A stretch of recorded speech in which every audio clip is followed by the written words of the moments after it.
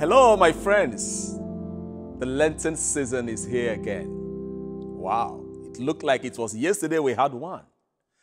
I don't need to remind any of us what the Lent means for us Catholics. It is a special moment, the greatest, leading us to the greatest celebration in the liturgy of the church, the Easter celebration.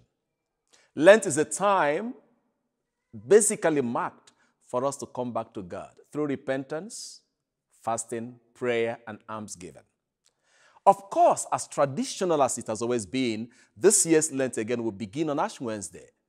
And Ash Wednesday of this year is the 22nd of February. My dear friends, let us not get so used to it that we actually forget that every Lent is a great privilege. I invite you to prepare yourself. Let us be in the right mood.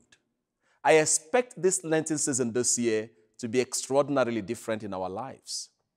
As usual, we have series of masses that Ash Wednesday. I would now invite you to look at the screen and please study the mass times. Uh, even though we will understand if for whatever reason you're not able to make it, but we recommend that at least you attend one of those masses.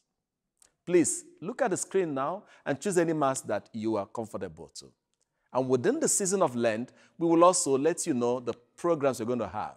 Week leading to the Holy Week, we will be having a whole week Lenten revival. The theme is going to be from the Second Chronicles chapter 7 verse 14.